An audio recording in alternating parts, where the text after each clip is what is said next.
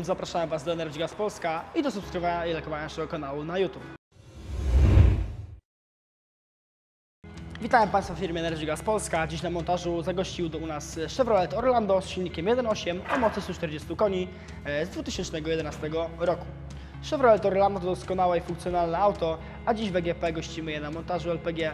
E, To doskonałe posunięcie, ponieważ właściciel zaoszczędzi naprawdę konkretne pieniążki dzięki instalacji gazowej. Kilka słów o samym aucie. Funkcjonalne auto, niedrogie w eksploatacji, e, z oryginalnym wnętrzem, pod maską silnik znany z aut spod, model, spod znaku Opla, e, czyli 1.8 o mocy 140 koni. Doskonale nadaje się pod montaż instalacji gazowej. Orlando to doskonałe auto rodzinne lub idealny kandydat na auto na przykład taksi. Jaką instalację wybrać do tego typu auta? W tym przypadku zamontowaliśmy instalację BRC Sequence 32 e, z podłączeniem pod OBD kwocie 3100 zł. To już jest cena wraz z montażem e, instalacji przez nas. E, Oto poszczególne elementy, które są widoczne pod maską. Tutaj widzimy filtr fazy lotnej. Tu w tym miejscu jest filtr fazy ciekłej. Dalej znajdują się wtryskiwacze ukryte pod osłoną silnika.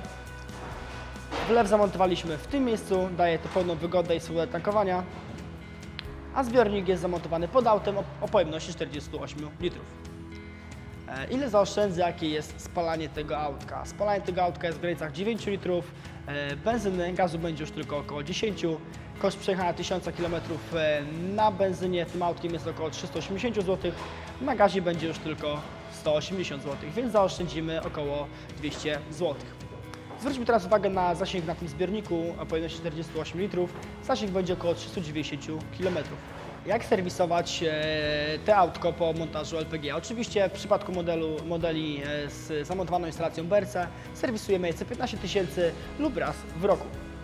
E, Co muszę zrobić, żeby zarejestrować auto? Oczywiście dostajecie Państwo od nas świadectwo homologacji, które jest do odbioru po montażu po około 7 dniach i z tym papierkiem Państwo kierujecie się do urzędu i wtedy wbijamy w dowód rejestracyjny, że auto jest zasilane paliwem LPG. Doświadczenie Energy Gas Polska w montażu LPG do Chevroleta. No już przez te 16 lat montowaliśmy naprawdę e, do wielu, wielu aut, czy tam do Cruzów, Orlando, a także do Camaro amerykańskich e, Suburbanów, czy także do wielu innych vanów, na przykład jak Chevrolet Astro. Na dzisiaj to wszystko. Zapraszam Was do Energy Gas Polska i do subskrybowania i lajkowania naszego kanału na YouTube. Do zobaczenia.